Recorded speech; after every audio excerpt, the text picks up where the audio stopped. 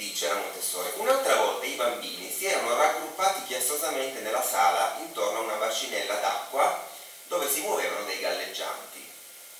Avevamo a scuola un piccino di appena due anni e mezzo. Egli era rimasto indietro, solo, e si vedeva evidentemente animato da un'intensa curiosità. Vedeva tutti questi bambini attorno a questa bacinella, lui voleva vedere, ma questi bambini non gli impedivano di vedere. Si vedeva evidentemente animato da un'intensa curiosità. Io lo osservavo da lontano con grande interesse. Si avvicinò prima al gruppo, scansò con le manine dei bimbi, capì che non avrebbe avuto la forza di farsi largo e allora si fermò e si guardò intorno. Era interessantissima la mimica del pensiero in quel volto infantile. Se avessi avuto una macchina fotografica avrei ripreso quell'espressione. Adocchiò una seggiolina ed evidentemente pensò di portarla dietro il gruppo dei ragazzi e montarvi sopra. Bimbo ha due anni e mezzo, però quando ha visto la seggiolina ha pensato, beh allora io la seggiolina la prendo, la sposto dietro gli altri, ci salgo sopra, dall'alto mi godo il panorama, quindi non è male, no? Già come, come riflessione e come obiettivo per un bambino di due anni e mezzo. Si muove con il viso illuminato di speranza verso la seggiolina. Ma in quel momento cosa è successo? La maestra lo prese brutalmente in braccio, o forse gentilmente secondo lei, questa è l'interpretazione della Montessori. Quindi la maestra prende in braccio il bambino e gli fece vedere la bacinella da sopra il gruppo dei compagni, dicendo, vieni caro, vieni poverino, guarda anche tu. Quindi la maestra prende il bambino e gli fa vedere, si accorta che voleva vedere, ma non si accorta che ci stava riuscendo da solo e quindi lo prende e lo alza. Certo, il bambino, vedendo i galleggianti, non provò la gioia che stava per sentire vincendo l'ostacolo con le sue sole forze e la visione di quegli oggetti non gli portò alcun vantaggio, mentre lo sforzo intelligente avrebbe sviluppato le sue forze interiori. Quindi se la maestra si fosse accorta che il bambino stava svolgendo uno sforzo intelligente e lo avesse fatto concludere la visione delle paperelle, è come se sarebbe stato un eh, educativo, si sarebbe educato da solo, il bambino non aveva bisogno di vedere le paperelle, il bambino aveva bisogno di farcela per conto proprio. E il maestro doveva essere passivo, doveva accorgersi di cosa stava succedendo. Nel suo visino si spense quell'espressione di gioia, di ansietà, di speranza che tanto mi aveva interessata e rimase l'espressione stupida del bambino che sa che altri agiranno per lui. Quindi del bambino impotente, perché di fatto sono gli altri a decidere. Ora, potreste considerare questo episodio come irrilevante nella vita di una persona, probabilmente lo è, si sopravvive anche se non riesco a compiere questo, questo atto.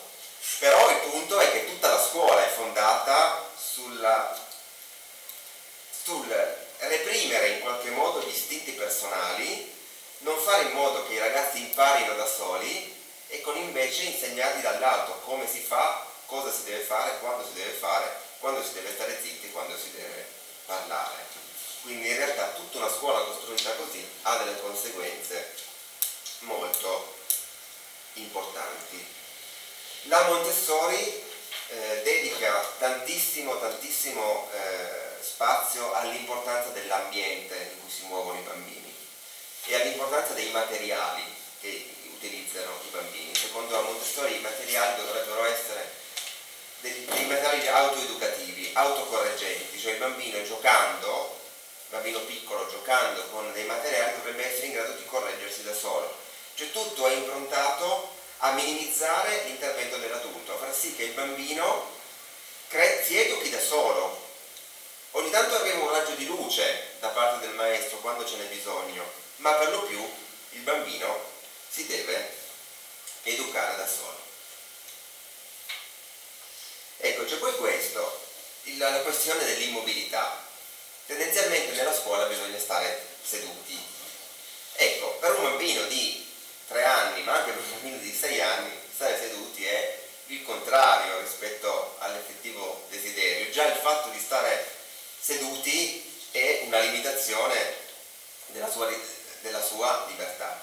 seduti è una limitazione della sua, della sua libertà. diciamo così, eh, una volta c'era l'abitudine a considerare forse l'immobilità importante e una volta si fasciavano anche, ad esempio, i bambini appena nati venivano fasciati stretti stretti come se questo potesse portargli qualche beneficio.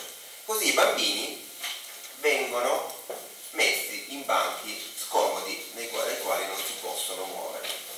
A questo riguardo c'era un altro brano che volevo leggerle, che è questo. Ecco, la, rileva, la rilevanza e l'importanza di potersi muovere, muovere e di imparare a muoversi nello spazio.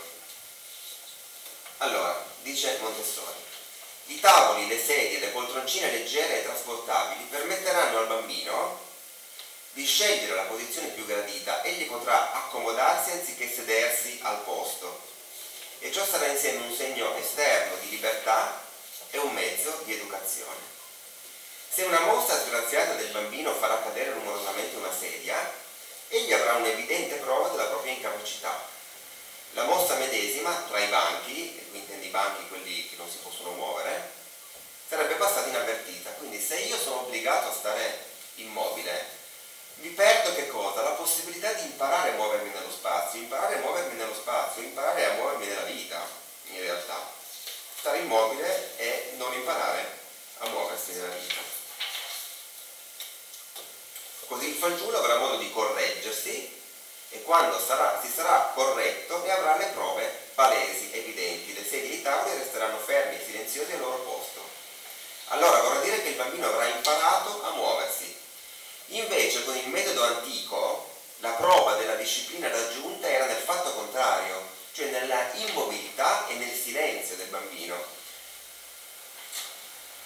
Allora finisco il brano e poi lo commento immobilità e silenzio che impedivano al fanciullo di imparare a muoversi con grazia e con discernimento, in modo che quando poi si trovava in ambienti in cui non esistono i banchi, gli accadeva di rovesciare facilmente oggetti leggeri.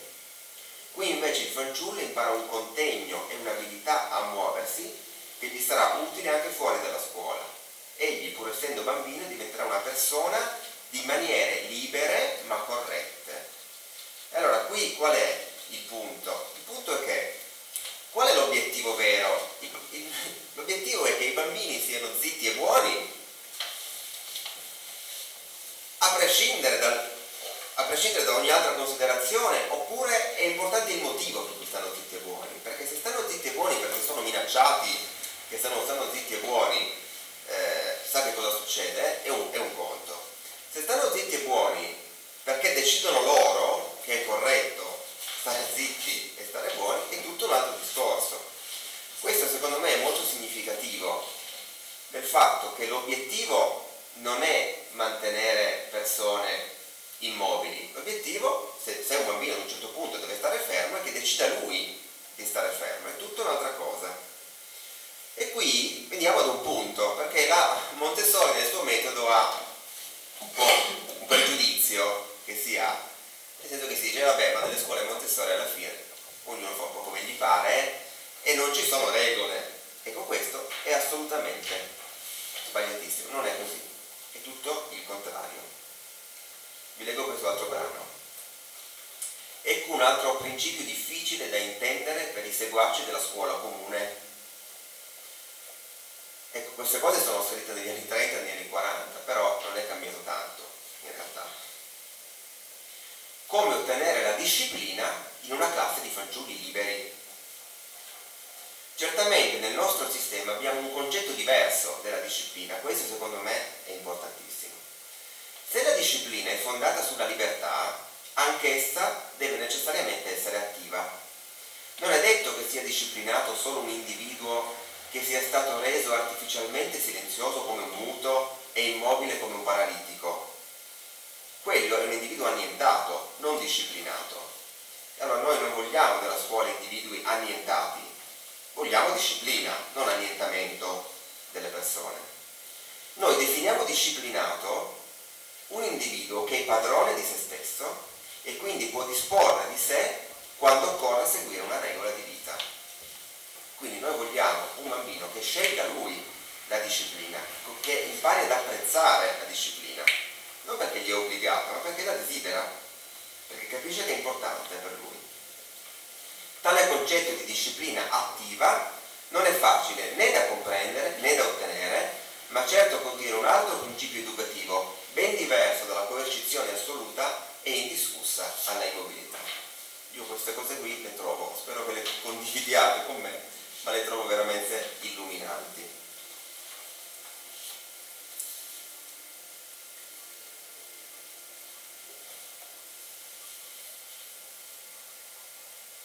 sempre più o meno sulla stessa linea. Siamo pieni di pregiudizi anziché di sapienza su, per, su quanto riguarda la psicologia infantile. Abbiamo voluto finora domare i fanciulli dall'esterno con la sferza, invece di conquistarli dall'interno per dirigerli come anime umane. In tal modo essi ci sono passati accanto senza farsi conoscere. Noi non abbiamo neanche scoperto i mondi interiori che sono nelle anime dei bambini perché non ci interessavano ma sfrondando l'artificiosità con la quale abbiamo voluto ravvolgerli e la violenza con cui ci illudiamo, con cui ci illudemmo di disciplinarli, essi ci si rivelano nella loro vera natura.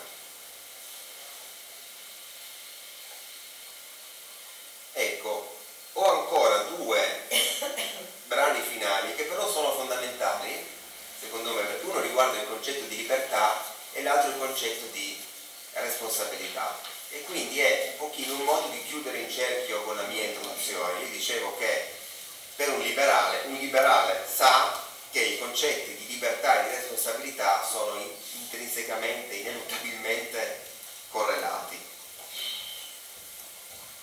Allora, i fanciulli conquistatori di se stessi sono pure conquistatori di libertà, perché spariscono in essi tante reazioni disordinate e inconsce che pongono necessariamente i bambini sotto il continuo e rigido controllo dell'adulto.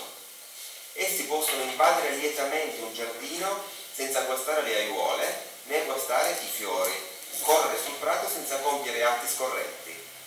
La dignità e la grazia del portamento, la disinvoltura delle movenze sono doni sovrapposti ai loro pazienti e laboriosi acquisti fondamentali. Con parola che traduce il concetto inglese, sono creature controllate, e là fin dove giunge il loro controllo si sono liberate dal controllo degli altri, quindi loro si controllano da soli, non, hanno bisogno che qualcun altro li controlli, sono liberi. Chi si addentra nello studio tecnico del nostro metodo riceve un'impressione che in principio è contraria al preconcetto che se n'era formato con una certa preoccupazione. Il bambino è libero di fare quello che vuole, quale caso, questo è il preconcetto e comincia a temere invece per questo bimbetto creduto libero che camminando è obbligato a mettere i piedi rigorosamente sopra un filo, che si esercita a ridurre in una completa immobilità il suo corpicino, che lavora con la pazienza di un servo e che analizza ogni movenza. Lo fa perché lo vuole fare, non perché è obbligato. Solo la conoscenza diretta gli dimostra che questi bambini sono felici di gettarsi pienamente in quei sacrifici e si convince che i bisogni dei fanciulletti, che sono in via di sviluppo, sono fondamentalmente sottomessi al bisogno di svilupparsi.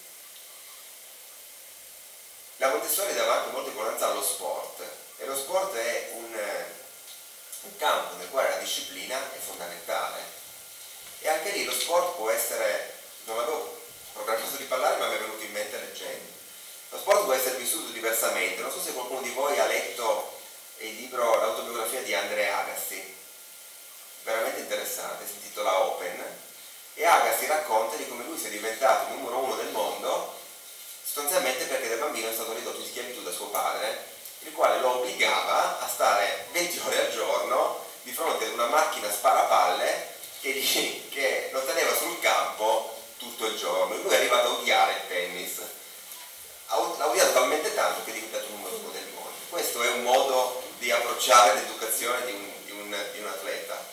Però ce ne può essere anche un'altra. Lui ha avuto, ecco, ha avuto successo, non so se sia poi stato felice nel suo percorso sportivo, ma ha avuto successo.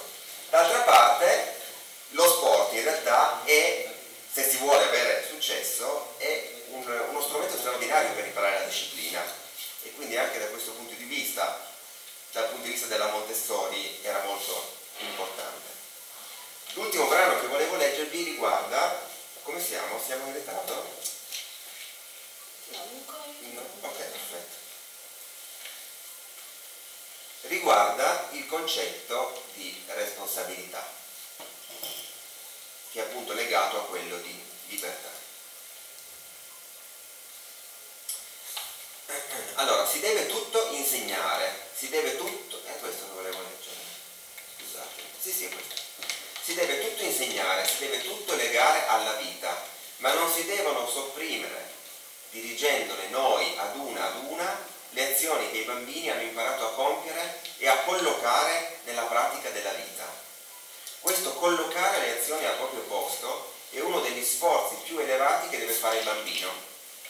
Il bambino ha imparato non solo il silenzio, ma ha anche imparato a collocarlo, sarà silenzioso, nella chiesa.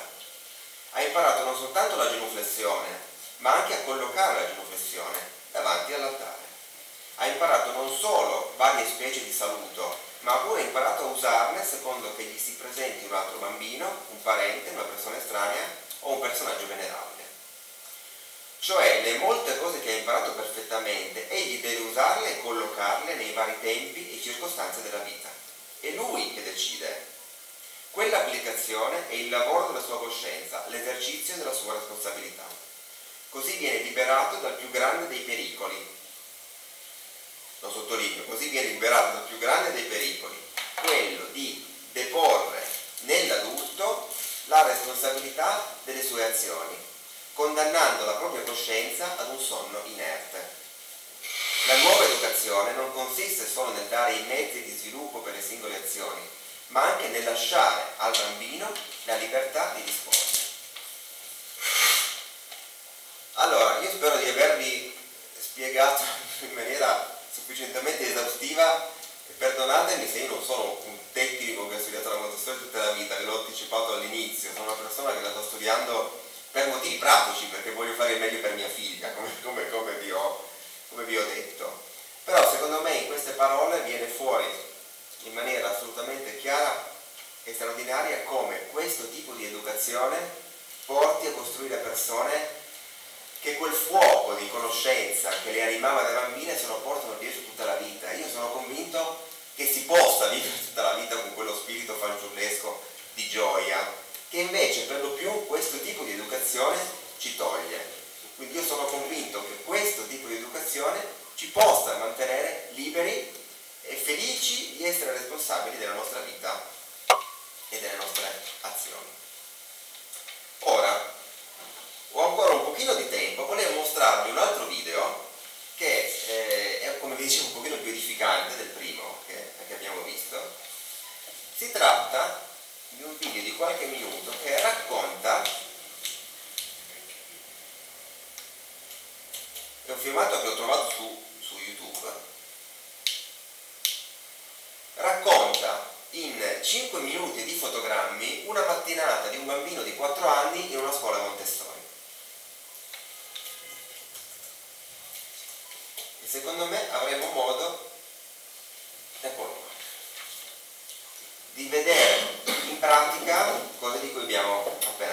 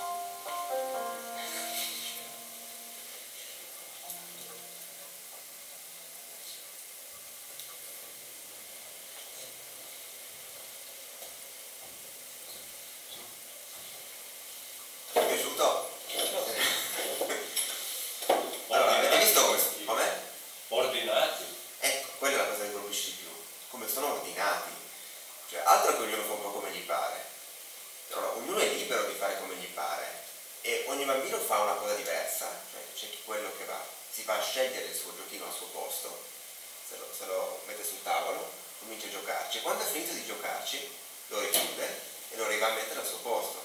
E ma che età hanno? Quattro anni. Ah, quindi non fanno ancora scuola. È No. asilo questo. È asilo. E per quello giocano. Sì, vabbè però si può fare una cosa analoga poi più avanti. si può fare una cosa analoga più avanti. Io sono convinto che si possa fare una cosa analoga per tutto il percorso di studi, compreso il, master post lauream, Fatta- fatte- fatti i dovuti, dovuti cambiamenti, però come metodo eh, è, è questo. Quindi il bambino, avete visto, aiuta ad apparecchiare ed è ordinato. Ecco, una cosa che riteneva la Montessori, che i bambini avessero dentro di sé l'attitudine a essere seri, ordinati e precisi, cosa che uno dice, ma figuriamoci il bambino, eh, più caos fa, più è contento. Non è così, io sono d'accordo con, con la Montessori. Lo vedo anche con, con mia figlia, non è sempre facile con un bambino di, di pochi anni, però quando lo vedi che da solo si prende le sue cose, se le rimette al suo posto, che ha la sua disciplina è, è bellissimo e ce l'hanno dentro. Ce l'hanno dentro, però poi non gli viene tirato fuori, ecco, non gli si aiuta a tirare fuori l'autodisciplina che invece, invece li anima. Eh, l'ho trovato molto significativo questo video, mi è piaciuto molto. Abbiamo ancora 10 minuti. Non parlare, se poi o possiamo iniziare con le domande. No, no, no. Se qualcosa da aggiungere. Ho eh, una cosa abbiamo- importante da aggiungere, che, che è questa, che eh, l'educazione non comincia con la scuola, l'educazione comincia prima e comincia alla nascita in realtà. Ed i primi responsabili dell'educazione sono i genitori, ovviamente, ben prima degli insegnanti della scuola. Ecco, questo tema è ancora più delicato del tema della scuola, però molto spesso i primi a fare dei disastri sono proprio i genitori, cioè i primi ad avere come obiettivo primario l'obbedienza e non invece la naturale espressione eh, di sé sono i genitori. E quello che vi dicevo prima che viene attuato nelle scuole, cioè il, il metodo della- del ricatto della minaccia nella gestione dei bambini, viene attuato, lo si vede in tutti i parchi giochi dove si va, dove io vado a portare mia figlia, viene attuato normalmente eh, dai genitori. Ecco, quindi l'educazione dovrebbe partire di lì. Secondo me un'educazione, ecco, un genitore montessoriano può esserci. C'è un genitore che porta nella sua attività di educatore questo spirito, cioè lo spirito di non essere lì per opprimere e per dire al bambino stai zitto, bravo seduto, se no non mangi cena. E questa è una tipica frase che un genitore potrebbe dire. E sto esagerando, però, però ci siamo capiti. Ecco, una, genitore- una genitorialità diversa, fondata sul- sul- sull'ascolto e non fondata appunto sulla coercizione, ma sul tentativo di, di ascoltare, di condividere, di porre dei limiti, perché i limiti sono assolutamente cruciali. Il bambino vuole avere dei limiti, assolutamente, perché altrimenti si sente disorientato. Però il genitore dovrebbe, secondo me, in un approccio che porta Montessori nella filosofia genitoriale, dire quanti più sì possibile, ma tutte le volte che un bambino dice un sì, che un genitore dice un sì, dovrebbe farlo con totale trasporto. Cioè non dire sì sì vai, tanto fai quello che vuoi, fai sempre quello che vuoi. No, vai e divertiti al meglio che puoi. E questo insegnerà al bambino ad entrare nella vita e goderne appieno senza avere nessun tarlo mentale che qualcosa non funziona di quello che si sta facendo. E quando invece si dice un no, perché i no ci devono essere nell'attività educativa, il no non deve essere un no immotivato, dice no perché lo dice papà, buono. No perché in questo momento non si può, magari si potrà in un altro momento, no perché ecco un no motivato. Ed allora di fronte ad un no motivato il bambino imparerà ad accettare i limiti ed imparerà a essere autonomamente eh, disciplinato. Quindi questo è un altro, in conclusione, un'altra cosa che, che volevo dire, perché quello che è importante, secondo me, come genitore e poi come educatore, non è il motivo per cui, per cui- cioè è il motivo per cui un bambino è disciplinato, a me non interessa avere una, una figlia che è zitta e buona quel tempo. Se è zitta e buona mi fa piacere, ma è importante che lo decida lei di stare zitta e buona, non che lo faccia soltanto perché riceve delle minacce o è, è obbligata, no? Per qualche motivo, questo è, è importante. Bene, con questo ho concluso. Grazie per l'attenzione. Grazie per l'intervento. E a me è piaciuto molto, ha fatto molto piacere perché si sentiva che era proprio una questione di cuore, Sì, insomma, sì, ci- eh. si vedeva che ci ha messo l'anima. E, mm, e sono contenta di questo intervento perché l'impressione che qui alla scuola insomma, parliamo di economia, parliamo di politica, parliamo di tutte queste cose, però poi non pensiamo a quello che è la radice, che insomma, i nostri figli, piuttosto che i nostri fratelli, tutte le, le persone ancora in tenera età che devono ancora appunto raffacciarsi, stanno facendo la vita, è- è lì, è da lì che tutto parte. Noi ci occupiamo tanto del dopo ma non del- dei primi passi. E vi invito a fare delle domande se ci sono. Prego. Ecco, no, eh, io vo- volevo cercare di capire come si può applicare questo metodo qua, diciamo, più liberale, eh, non solo per un bambino più piccolo che quindi, insomma, magari anche all'asilo viene lasciato un po' più eh, libero, ma anche poi in, eh, dopo, magari alle scuole superiori, eh, come, come si fa a rendere questo metodo efficace e fare in modo che un quindicenne piuttosto che un eh, sedicenne, insomma, l'età è quella, in, eh, durante lo sviluppo adolescenziale eh, si sviluppi pienamente senza per questo diventare però uno che è totalmente privo di eh, qualsiasi limite, qualsiasi regola, che mi sembra che sia un po' il problema che viene posto quando si parla di metodo Montessori, per quel poco che ne so. Beh, Ti sembra facile quando appunto c'è all'asilo i bambini comunque giocano così, però quando si arriva davvero al momento di passare a, a dei livelli più, più complessi, insomma quando c'è davvero da, da imparare, come si può...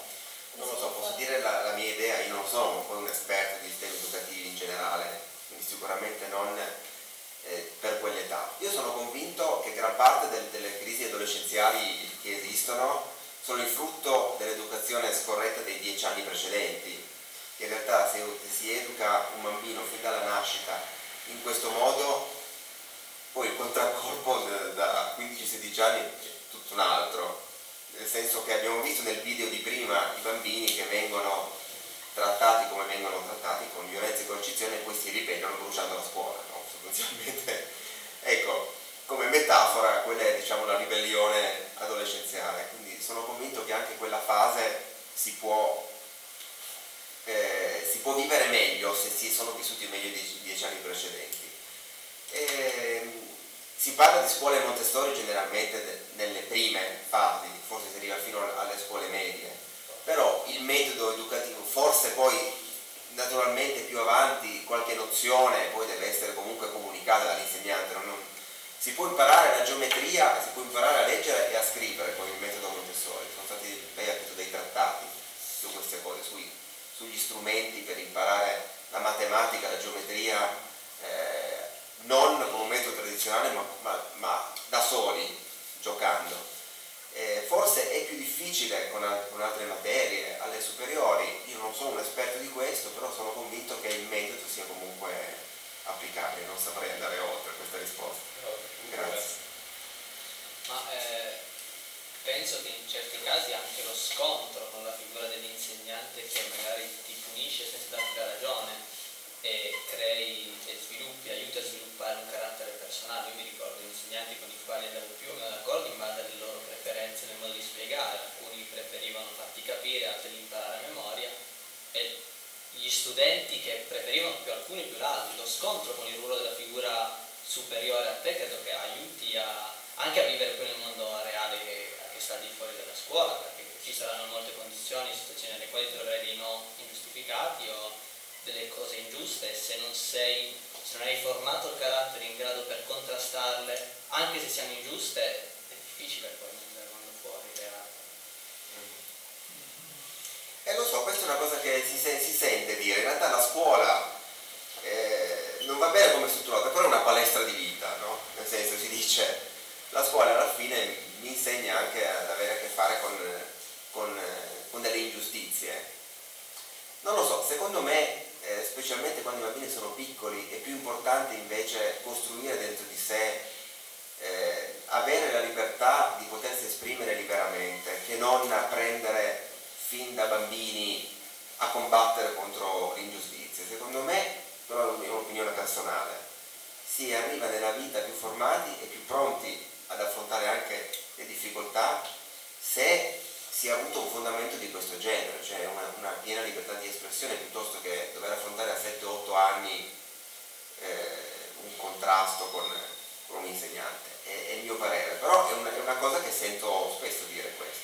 Non so se qualcun altro ha qualche idea a riguardo, perché comunque è un tema interessante, questo della, della scuola che non va bene così com'è, però è una palestra di vita. Ecco, io non, non mi convince, non mi convince assolutamente. Secondo me... Comunque, questi bambini fanno l'esperienza, comunque magari si, si scontrano con, eh, con, le persone con cui si trovano davanti e comunque secondo me imparano alla fine ad averci a che fare, appunto sempre comunque dall'esperienza e senza avere una figura opprimente comunque interagiranno con i genitori piuttosto che i compagni di scuola, i compagni di giochi, quindi comunque impareranno ad avere a che fare con l'altro in qualche modo. Insomma la vita ci pone di fronte degli ostacoli comunque ce li porrà di fronte, allora minimizziamoli, nel senso almeno a scuola diamo, costruiamo un fondamento di, di, di solidità. No? Prego. Il discorso che è anche tutto il resto che viene dopo, l'università, quel lavoro, che è basato sullo stesso eh, diciamo, sistema della scuola, per cui fai esperienza perché quel sistema che viene dopo è basato su quello. Cioè fosse anche tutto il sistema dopo basato più sul metodo diciamo, Montessori, per, per dare, sarebbe, non sarebbe più un'esperienza di vita perché quella vita sarebbe diversa. Perché il sistema dopo non è liberale. perché è proprio il sistema in cui siamo calati che in questo momento è tutta una catena da quando si nasce da quando si arriva a chi ci arriva in pensione è tutto fatto in modo liberale. Per quello che è un'esperienza se no non lo sarebbe. Eh, allora, la moglie cosa dice, visto che la bambina, lei Montessori, ma lei cosa dice? Ma eh, per fortuna su quello, almeno su quello andiamo abbastanza d'accordo. E quindi ci troviamo. E avete trovato una scuola futuribile, perché adesso sei a tre anni, non è ancora o l'asilo adatto e poi la scuola l'avete già, perché mi pare che sia già tramontato in Italia da un po' il metodo. Sì. Non ci sono tante scuole, ci sono alcune scuole pubbliche che hanno delle classi Montessori, però io non mi fido. Non mi fido perché secondo perché comunque essendo nel, nell'ambito della scuola pubblica io sinceramente non, non credo che gli incentivi che poi hanno con gli insegnanti siano autentici e che poi i metodi diventano, però è un mio pregiudizio forse, magari sperimenterò ed andrò a vedere. Esistono delle scuole, e una l'abbiamo trovata, peraltro, Ecco, pratica. eh, esatto, esistono delle scuole che sono quelle, non so se ne avete mai sentito parlare, delle scuole che si chiamano scuole democratiche o scuole libertarie. Sono delle scuole che non sono scuole Montessori, ma nelle quali secondo me il metodo, il metodo Montessori, cioè il metodo del lasciare libero l'allievo di studiare quello che desidera, vengono applicate. Nella scuola libertaria, eh, in Italia non ce ne sono moltissime, ma ce ne sono, classica che sta nascendo anche all'estero, non c'è un programma di studi e ci sono diverse classi e il bambino è libero di andare dove ritiene di andare e studiare quello che ritiene di studiare. Alla fine quello che succede è che magari un bambino per un mese non fa niente, perché non lo voglio fare niente, ma poi comincia, comincia ad essere interessato, comincia a studiare quello che gli interessa sul serio e poi alla fine a leggere e scrivere si impara tutti, soltanto che essere obbligati a farlo è un conto, farlo perché lo si vuole fare veramente è tutto, una, è tutto un altro conto. 1900